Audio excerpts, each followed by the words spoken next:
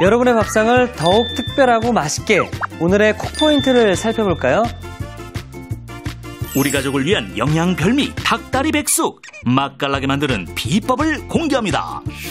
닭다리 백숙을 만들 때 찹쌀죽을 따로 끓여주는 게 키포인트. 이렇게 하면 국물이 깔끔하고 맛이 텁텁해지지 않는다는 사실. 후루룩 후루룩 먹다 보면 기운까지 불끈. 닭다리 백숙으로 든든한 밥상을 차려보세요. 아셨죠? 잊지 마시고 꼭 기억하세요.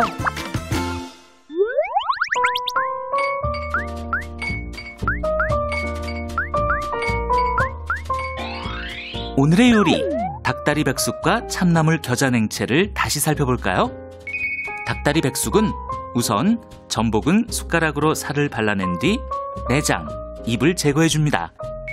냄비에 닭다리, 대추, 마늘, 수삼, 전복, 물을 넣어 센 불에 15분 정도 끓여주세요.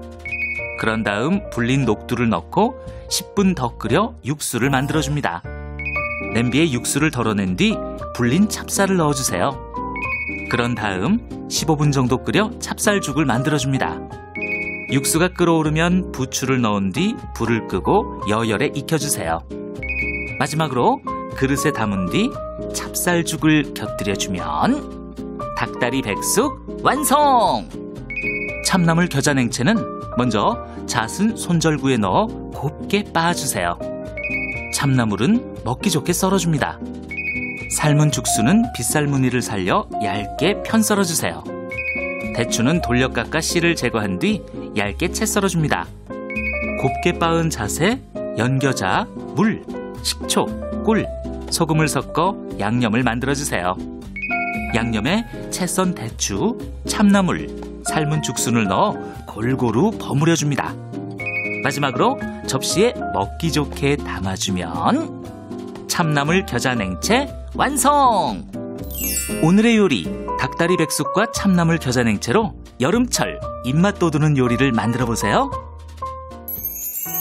자, 오늘은 기력 충만하는 날이고요. 그리고 이제 다가오는 여름을 또 건강하게 잘 보낼 수 있게 만들어주신 바로 그 요리, 닭다리 백숙과 참나물 겨자 냉채인데요. 아, 자, 닭다리만으로도 이렇게 완벽한 백숙을 만들 수 있다라는 걸 또 보여주셨는데요. 제가 감사한 마음으로 시식을 해보도록 하겠습니다. 부추와 닭다리살을 잘 집어서 살짝 한번 콕 찍어서 네.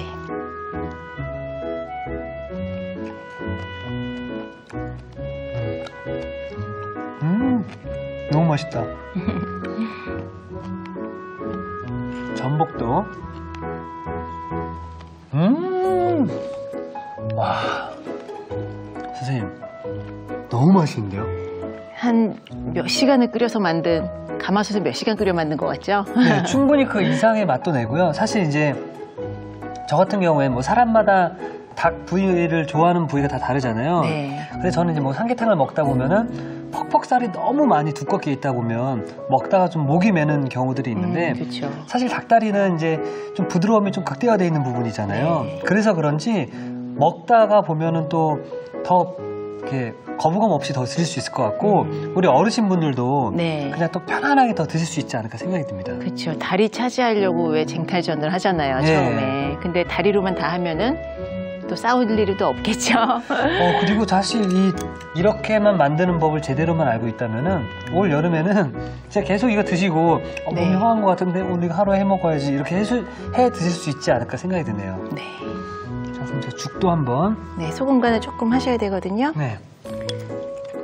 미리 간을 하면은 삭으니까요. 음. 좀 드시기 직전에 잘 섞어서 닭을 이렇게 맛있게 드신 다음에 이제 죽에다가 깍두기나 김치 딱 얹어서 먹어도 맛있잖아요. 맛있죠. 그렇죠?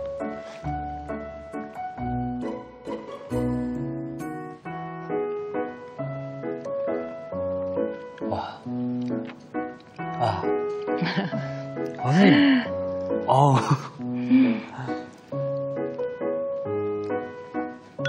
이 맛은 그냥 찹쌀이 닭 그 배 안속에 딱 들어가서 훅 익혔다 나온 그 깊고 진한 맛이 그대로 나오는데요. 네, 그리고 백숙은 백숙대로 전혀 다른 요리 먹은 것 같잖아요. 예. 예, 두 개를 코스대로 즐길 수 있는. 와, 네. 선생님 감사하다는 말씀을 대신 좀 드리고 싶습니다. 기력 좀 회복하셨나요? 아, 어떻게 말로 표현할 방법이 없는 것 같네요. 자, 그럼 이번에는 이제 후식의 어떤 그런 느낌으로 참나물 겨자 냉채도 한번 배추와 죽순과 골고루 해서 자, 아.